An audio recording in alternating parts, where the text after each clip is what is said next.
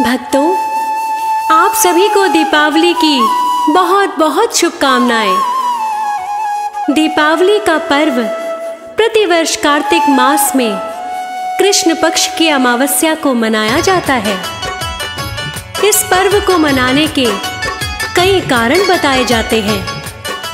कहा जाता है कि इस दिन प्रभु श्री राम, माता सीता और भ्राता लक्ष्मण के साथ चौदह वर्ष का वनवास काटकर अयोध्या लौटे थे।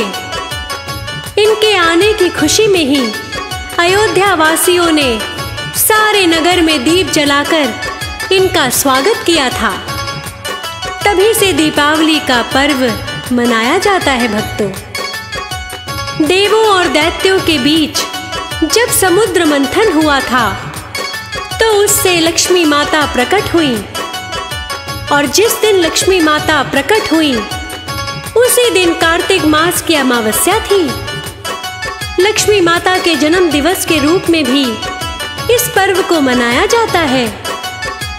देवों के नायक श्री गणेश जी लक्ष्मी माता के दत्तक पुत्र हैं और इसीलिए दीपावली पर इनका पूजन भी विशेष रूप से किया जाता है।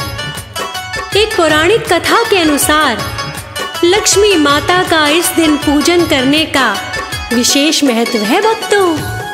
तो आइए भक्तों, सुनाते हैं वो कथा, जिसे सुनने से घर में लक्ष्मी का आगमन होता है और घर सुख संपत्ति से भर जाता है। तो भक्तों, दोनों हाथ उठाकर मेरे साथ बोलिए।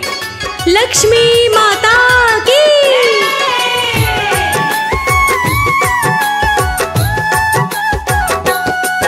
क्यों दीपावली का हम सारे उत्सव मनाते